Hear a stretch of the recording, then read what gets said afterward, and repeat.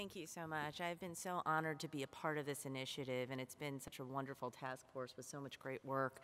And I have the privilege today, so I want to thank you guys for inviting me about talking about what is really the impact of bile duct injuries, both to the patient and to society. These are my disclosures, none of them are relevant to this talk. So when we talk about cholecystectomy, we tend to think of this as kind of our freebie operation, right? We do about 800,000 of these a year. We expect them to go well.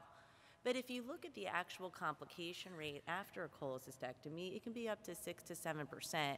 And I can tell you from New York State data that we just looked at, that complication rate is actually on the rise instead of the decline and is about in the 9 to 10% range. And it also has a huge impact on our health resource utilization, both with perioperative emergency room utilization and readmissions. Again, things that you wouldn't um, think about from your routine cholecystectomy.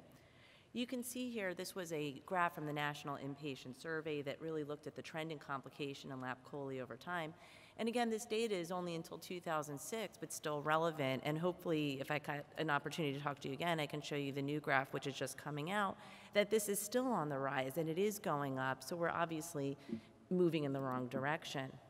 But when we talk about injuries or complications after cholecystectomy, I think we can all agree in this room that bile duct injury is really our most dreaded complication.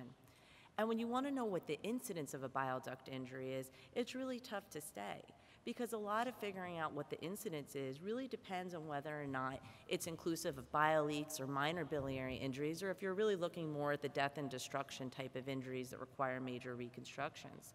And when you include these small injuries, you see reported incidence rates, and we'll talk about this in a moment, of up to four in a thousand.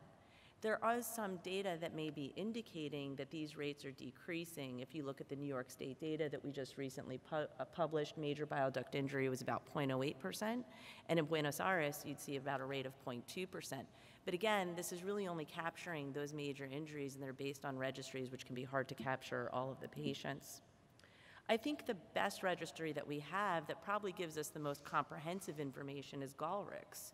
GallRiks was founded in 2005, and this is a national Swedish registry for surgery and ERCP, and it really captures about 90% of all cholecystectomies that go on there. And it really aims to uh, provide current information regarding the indications, the treatment, and the methods of complications.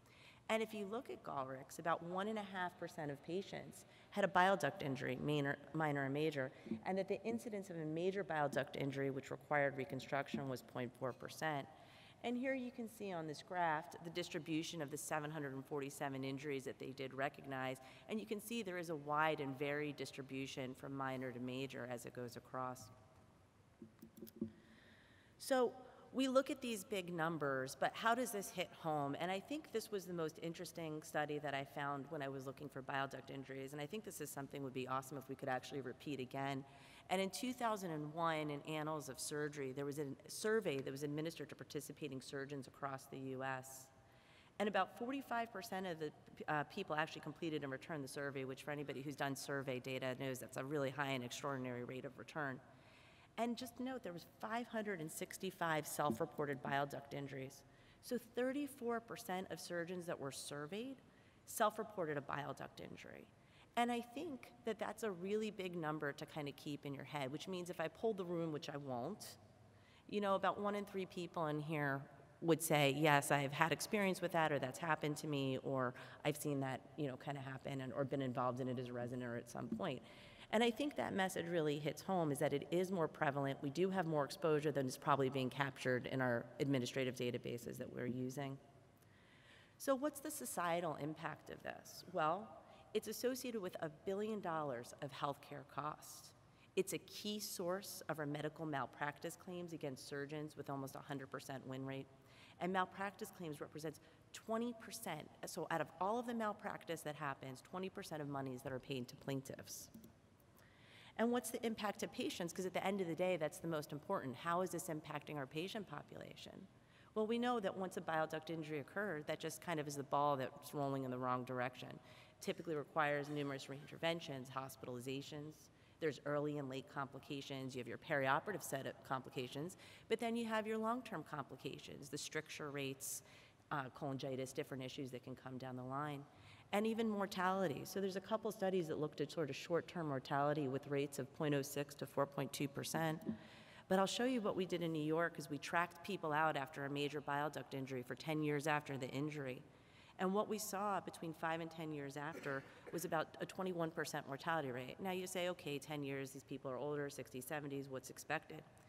So we, ate, we um, compared them to the age-adjusted uh, information that's available on the CDC Wonder website and saw that this was 8.8% above what the cohort's expected age-adjusted death rate would be. So it is significant. It does negatively impact our patients. And what about quality of life? There's a couple studies that have looked at quality of life in patients with bile duct injuries.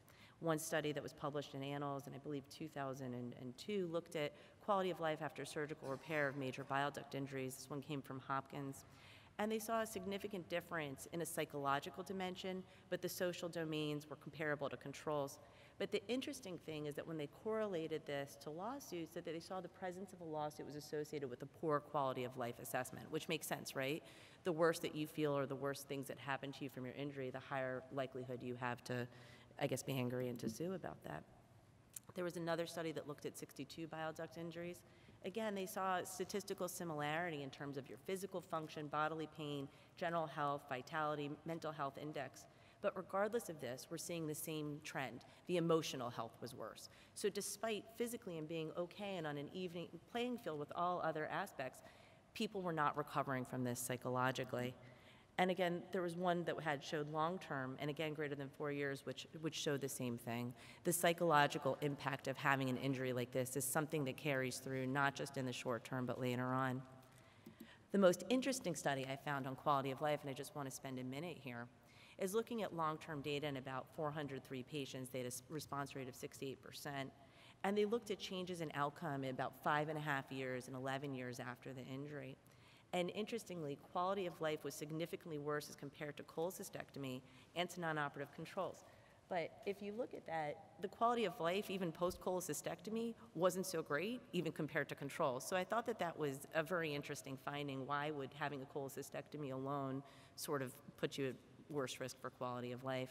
And they really saw that there was no improvement over 11 years. So if you weren't doing well, it's not like it was going to go away. It was going to keep happening and keep worsening down the line. 19% of these patients, so the same numbers we're looking at, filed a malpractice claim, and quality of life improved if the claim was resolved in their favor versus if it was rejected. So you feel bad, you sue, you win, okay, you're getting happy again, but if you don't or if your claim's rejected, then you're following that same trajectory. So as part of this, this is all great to look at this data. I did kind of the unthinkable. I Googled. I Googled bile duct injury patients. What are people posting on the websites? What are people writing in the forums? And it's a dangerous zone to go in, and I, I now know why I also tell my patients don't do that. And you know, there's a lot of accounts and there's a lot of very emotional statements.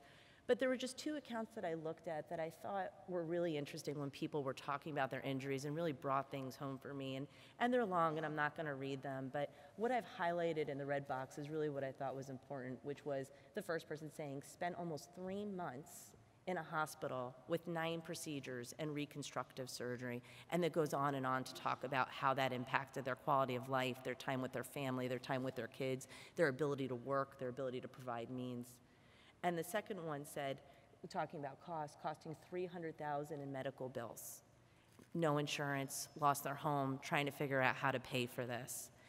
And I thought that those were very powerful statements that really kind of drove home on the individual level what does this mean to your patient when it happens? You know, the cost of it, both emotionally, psychologically, financially, people losing, losing their homes, time away from their family, time away from productivity, and this is, and this is what people are putting up. So the take home from this is that major common bile duct injury rates still occur. I think the newer numbers we're seeing are probably an underrepresentation. The truth is, you know, hot off the presses, we do have some data from the Premier database. It looked to be about 0.2, but I think 0.2 to 0.4 is probably a fair range for injury. And it still translates to 3,000 injuries a year, which doesn't sound like a lot, except for when you think about what those 3,000 injuries are translating into, which is over a billion dollars in cost, both medical, legal, and patient care.